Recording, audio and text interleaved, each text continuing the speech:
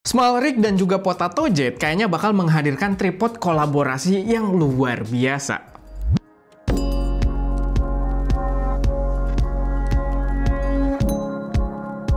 Halo semuanya, selamat datang di channel SM Media dengan gue Erwin dan pada video kali ini gue pengen bahas sebuah produk yang menurut gue cukup hidden gem juga yang muncul di acara NAB Show kemarin gitu ya. Gue sih nggak ke sana, jadi video ini berdasarkan liputan channel lain juga. Gue berdasarkan dari channelnya News Shooter.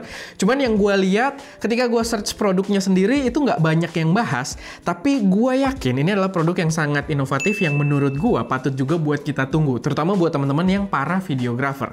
Jadi ini dari videonya News Shooter dia wawancara si Potato Jet. Kalau kalian penggemar videografi atau drone FPV juga gitu ya, itu pasti tahu dengan Potato Jet.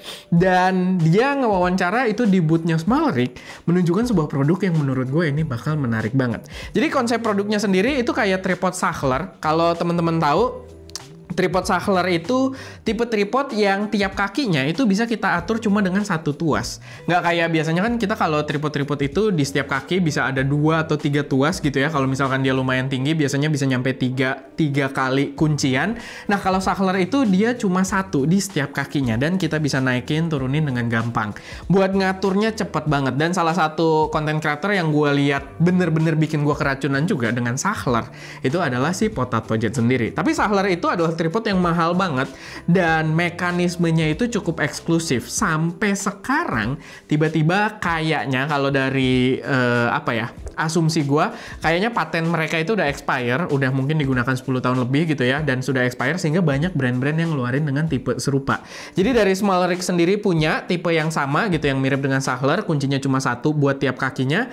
Lalu dari si si Rui juga setahu gue ada gitu tipe tripod serupa. Begitu juga dari brand-brand lain yang gue nggak begitu tahu. Tapi kayaknya secara paten dia udah mulai lepas gitu. Udah mulai banyak brand yang bisa ngerjain dengan tipe serupa.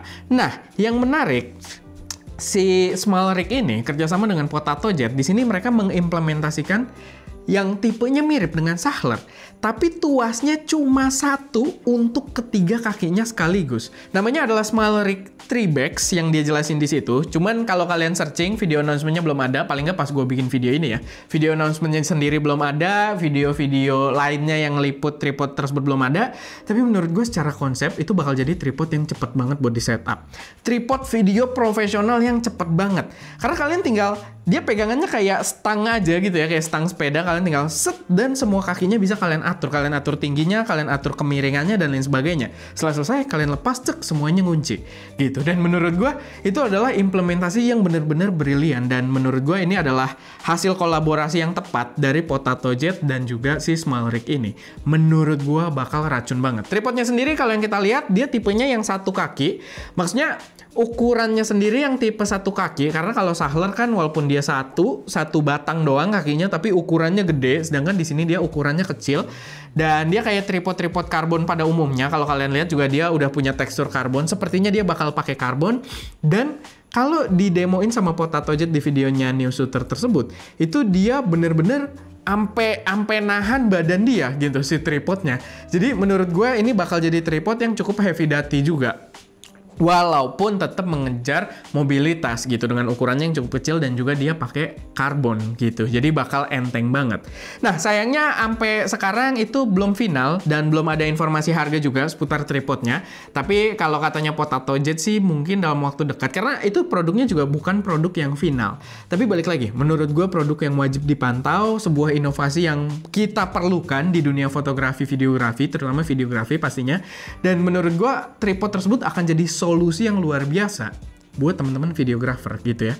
Termasuk buat kita kalau kita lagi creative adventure gitu ya, kalau kita lagi jalan-jalan, kalau pakai tripod tersebut yang biasanya tripod tuh bener-bener uh, apa ya, lumayan bikin stres juga gitu ya. Kalau kita lagi buru-buru, ini bakal jadi hassle free banget gitu. Menurut gue bakal jadi produk yang mantep dari Small Rig dan kita tunggu sampai beneran di launching dan sampai semoga bakal dijual di Indonesia.